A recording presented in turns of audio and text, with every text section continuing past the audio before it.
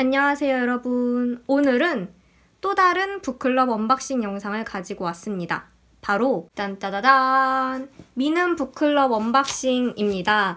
어, 민음 북클럽 하면은 제가 작년에도 이제 가입을 했었고 올해도 가입을 했는데 이렇게 어, 드디어 왔습니다. 여러분 굉장히 많이 기다리셨을 것 같아요. 책 좋아하시는 분들은 아마 민음 북클럽 많이 가입을 하셨을 거고 올해는 특히 신청자가 굉장히 많은 것 같더라고요. 그래서 아무튼 저도 기다리고 있었는데 드디어 와서 이렇게 열어보려고 합니다. 실은 지금 되게 설레요. 제가 뭘 선택을 했는지 알지만 그래도 설렙니다. 아무튼 그러면 수술을 시작하지. 아 이거 눈썹 칼 사용하면 된다고 말씀해주신 구독자분들이 계셨는데 제가 눈썹 칼로 택배를 잘라봤거든요. 근데 눈썹 칼에 그 날이 빠지더라고요. 그래서 무서워서 그 뒤로 그냥 칼을 쓰고 있는데 말씀해주신 분들 정말 감사합니다. 짠짠짠. 아, 아 열렸어. 왔어. 아 너무 좋아. 자세한 혜택 같은 거는 제가 아래 더보기란에 미는 북클럽 그 사이트 링크를 걸어두도록 할게요. 그거를 확인해 주시면 될 것 같고 왜냐면 혜택이 굉장히 많아서 사실 저도 그거를 다 못 외우고 있거든요. 아무튼 그래서 일단은 이 안에 들은 것부터 하나씩 꺼내보도록 하겠습니다.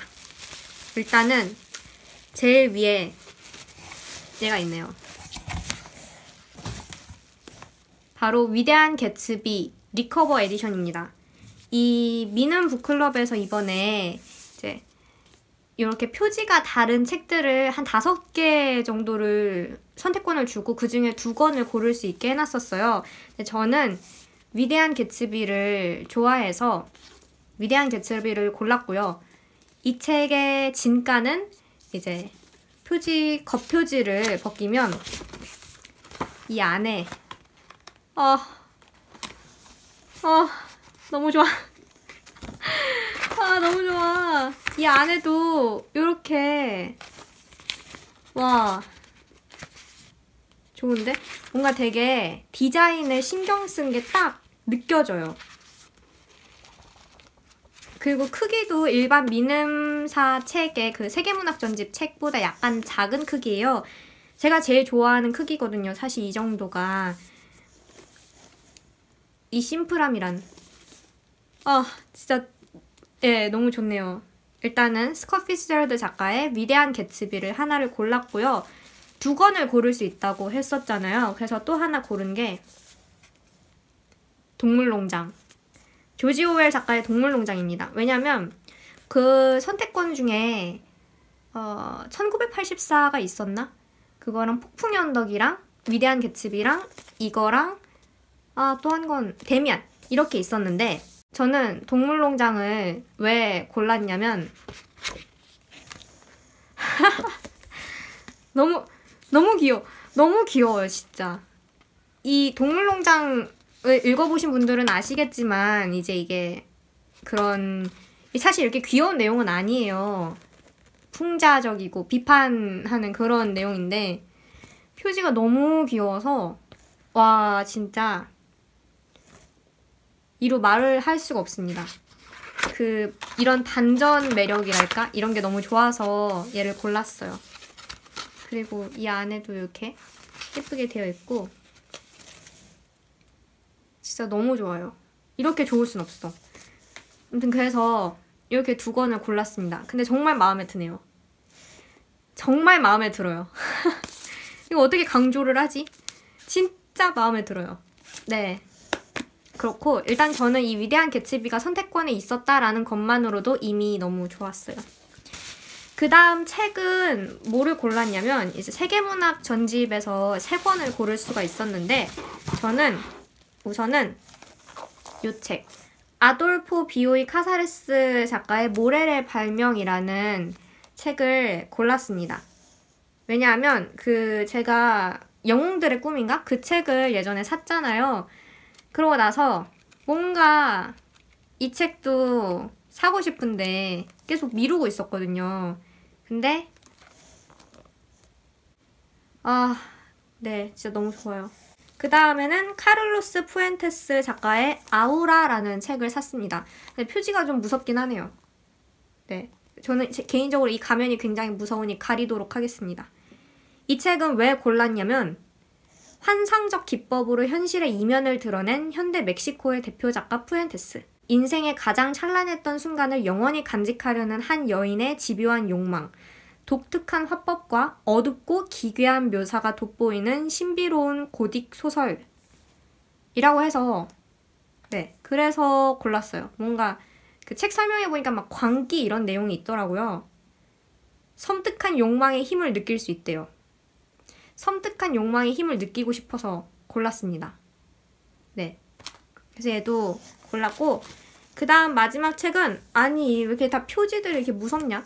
반쪽아리 자작이라는 이탈로 칼비노 작가의 반쪽아리 자작이라는 책을 샀는데 얘도 표지가 무서우니까 편집을 나중에 할 저를 위해서 이렇게 가리도록 하겠습니다.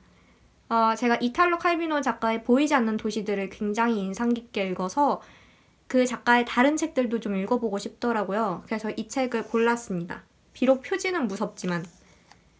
이 책은 악한 반쪽과 선한 반쪽으로 두동강 나버린 한 남자를 통해 엿보는 고독한 인간 내면, 현대 이탈리아를 대표하는 작가 이탈로 칼비노가 그려낸 기괴한 동화적 공간, 그 속에서 살아 숨쉬는 뒤틀리고 분열된 현대인의 초상이라고 합니다.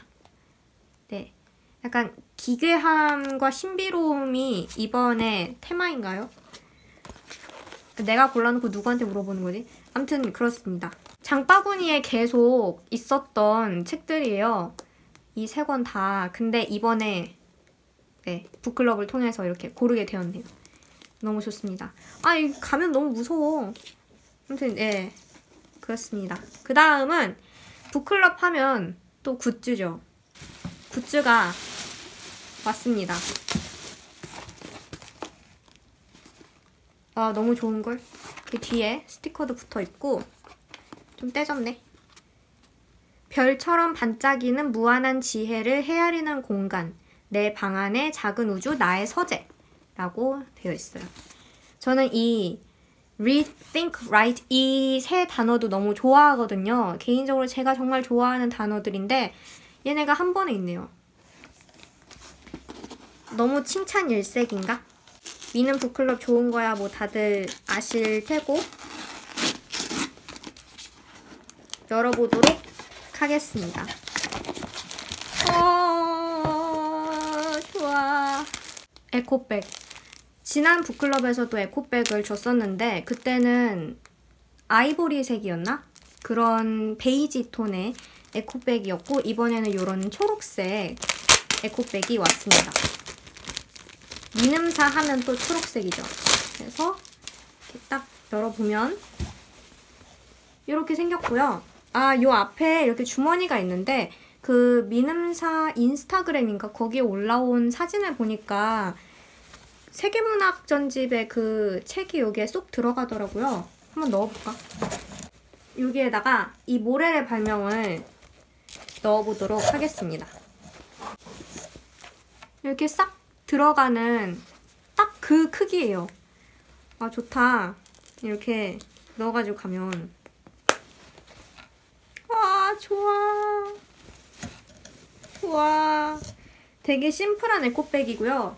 이렇게 뒤에는 아무 무늬도 없고 아 좋네요. 뭔가 길 가다가 이거 들고 다니는 사람 많이 볼 것 같은 느낌. 다들 북클럽으로 대동단결 막 이런 느낌? 네. 그래서 요 에코백이 왔고요. 그 다음에 제가 또 기대를 했던 게 바로 요거입니다. 이거는 조그만한 책자같이 생겼는데요. 2018 민음 북클럽 My Library Book이라고 쓰여 있어요.